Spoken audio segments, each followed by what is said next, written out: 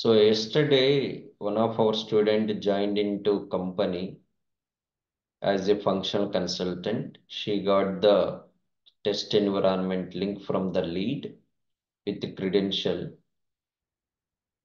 After one hour, she asked me how to identify how many applications are implemented for uh, my client. What are the modules implemented for my client? So how to identify them? I'm asking you. business functions. Good. Or P- Setup and maintenance. This is very basic information. Go to financials. Go to organization structure. Go to business unit function. If you see here, you can easily identify how many applications we implemented as a subledgers. You can see here. We already discussed that point also. Second navigation, anyone can able to answer it. Second navigation.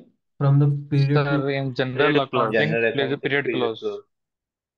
period to Identify. Third one, once from the tools, uh, so we can see the offerings. offerings also. Very nice.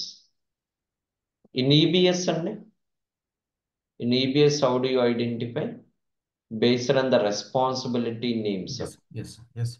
In EBS, responsibility names wise, you can go to system administrator, Yeah. search the client name. At the responsibility setup level, you can see how many responsibilities are defined for uh, application. Nothing but those are all applications using in EBS. Oh, yes, sir. Clear? So, yes, sir. Clear.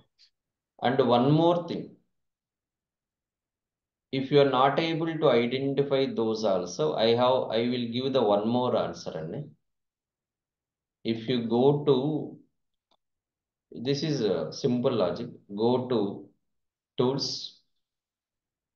If you go to security console, query the your lead name who given the links to you and export the roles or EBS export the responsibilities. You can check it how many applications are implemented for our client.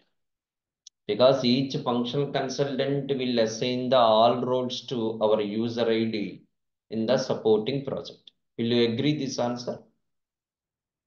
Yes or no? Yes. Yes. That is also one. Okay. Way to identify.